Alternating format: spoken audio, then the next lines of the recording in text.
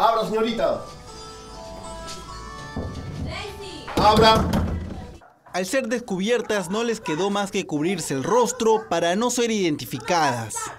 Vemos ahí una señorita se cubre el rostro, está con minifalda, está con tacos, está en, en una cama, en una habitación, hay papel higiénico. Eh, ahora se tapa con, con la sábana. Fiscalización de la Municipalidad de San Juan de Miraflores realizó un operativo contra prostíbulos clandestinos y esto fue lo que encontró. Acaban de levantar este colchón y se ve que hay más preservativos, hasta sangre. O sea, aquí podía haber alguna infección, podía contagiarse alguna enfermedad. Estas son las condiciones en las que están estas habitaciones con un olor realmente eh, nauseabundo y vemos la precariedad de estas habitaciones hasta el techo pues está que se cae a pedazos. ¿De qué trabajo hacían ahí adentro? Norm- el que no- lo que hacemos, servicio nada más. Servicios sexuales.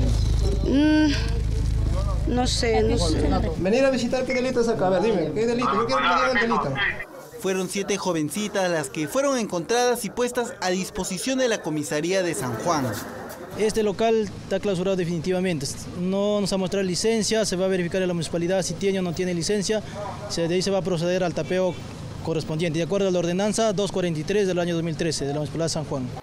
En el cercado de Lima se intervinieron 28 locales donde se ejercía la prostitución, pero que funcionaban como stands de masajes y reflexología.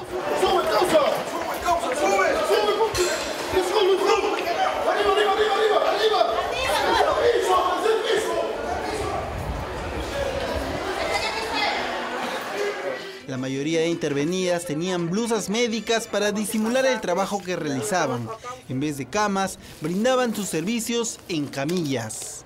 Estos stands están en la Galería Las Nazarenas, cerca a la iglesia donde reposa la imagen del Señor de los Milagros.